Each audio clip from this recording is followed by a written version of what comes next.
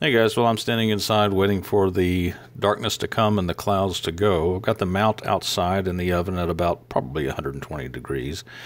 And I've been using the ZWO off-axis guider lately for some imaging, and I thought I'd share with you a few of my observations on, on its use in this video.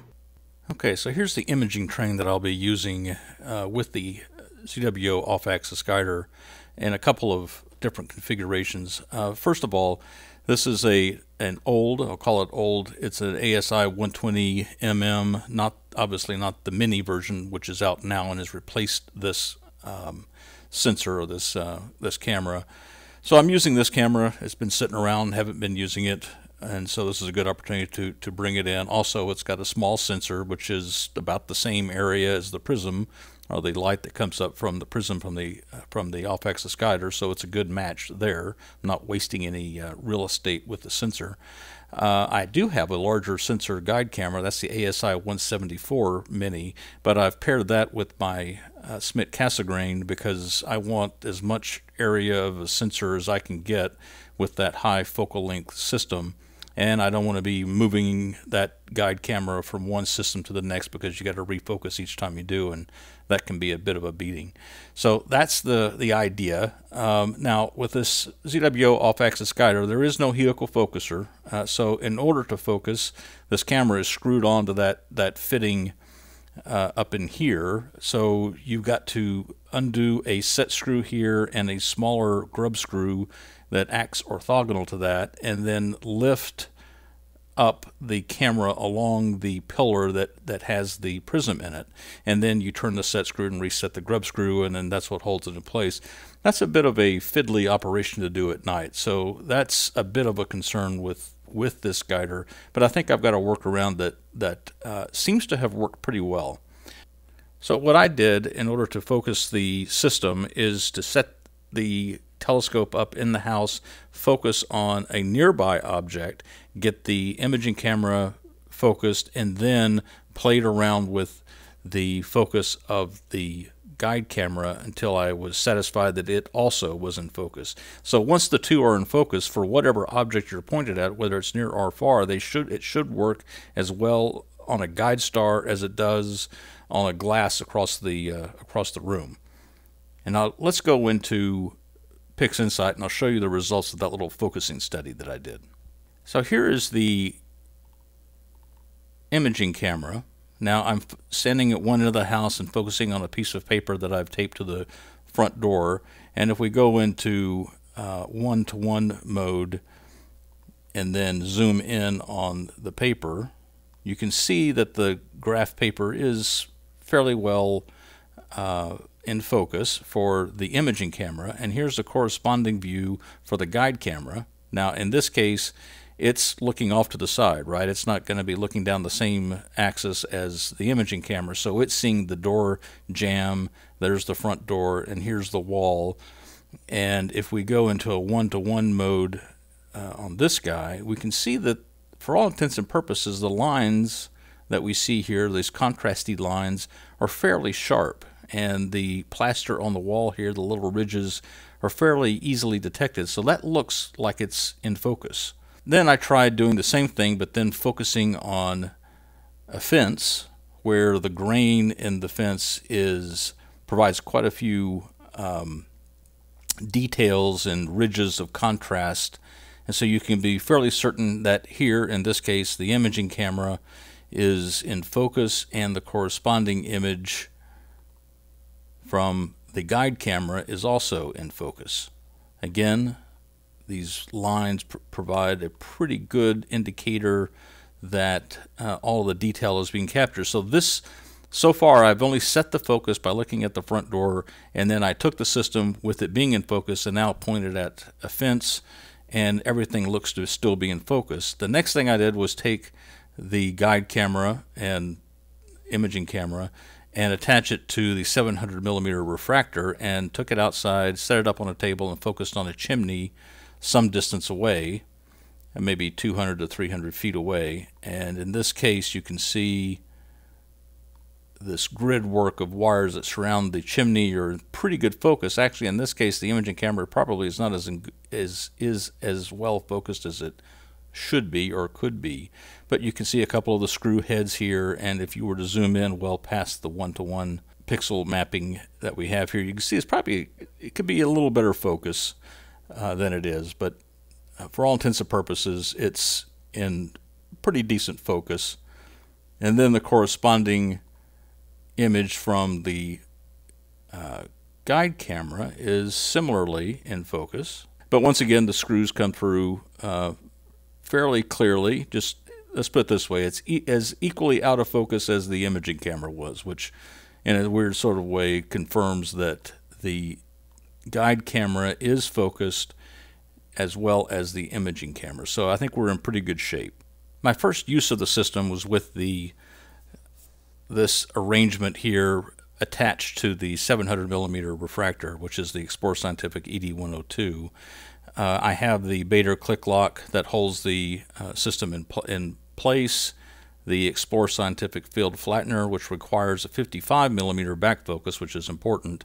I've got the off-axis guider at 16.5 millimeters, the spacer at 11.55 millimeters, and the filter wheel at 20 millimeters plus perhaps 0.5 millimeters for a, uh, a filter glass itself, and then finally the uh, 6.5 millimeters in the uh, guide camera, in the imaging camera, and all that adds up to about 55.05 millimeters. So in theory, everything should work out with this system.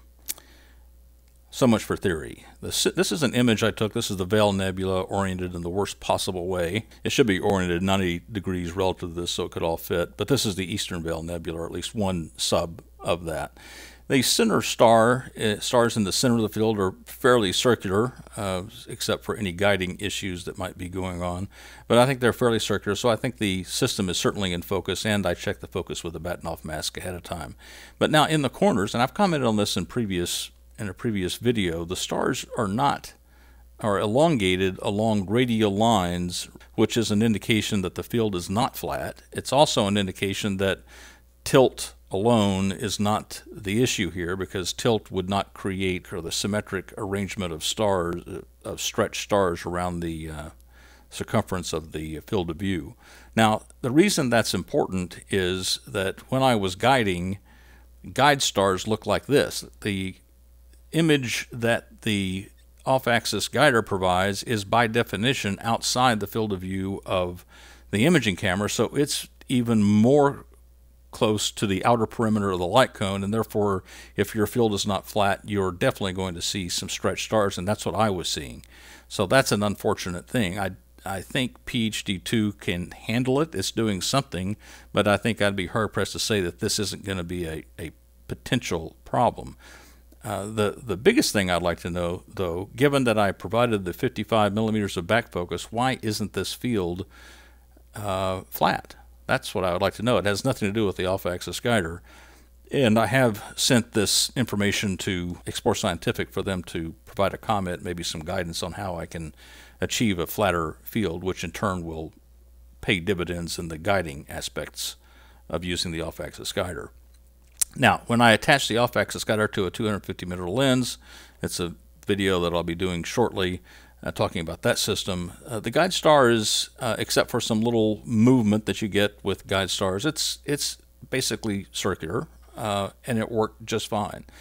Uh, one of the things that I did notice, though, both with the previous uh, configuration and with this one, when I'm using the ASI 120, that that guide camera, it's not streaming well with PhD2 or SharpCap or FireCapture or APT uh, in the mo- in the mono 16 or the 16-bit mode at full resolution.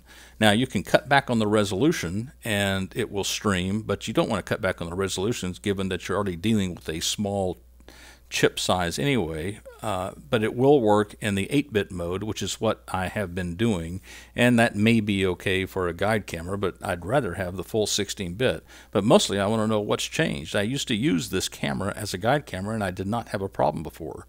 Uh, many things in my system have changed. I'm using a different computer. I'm sure the drivers themselves have been updated, a number of things, but I don't know what's going on with that. So some of you have have encountered this problem or know a workaround or know the solution, please let me know. Now here's a t-shirt flat from the 250 millimeter scope. And what you can see here is there's an edge coming down along at an angle here. Well, what that is, if you look at how the off-axis guide camera right here is oriented relative to the sensor of the imaging camera, you can see that the axis of the prism is tilted relative to the axis of the imaging sensor, and that means the base of the prism is going to follow a line right along here. So in other words, this shadow, doesn't, uh, the light is not blocked, it's just a shadow, is the shadow of the prism on this side of the imaging sensor.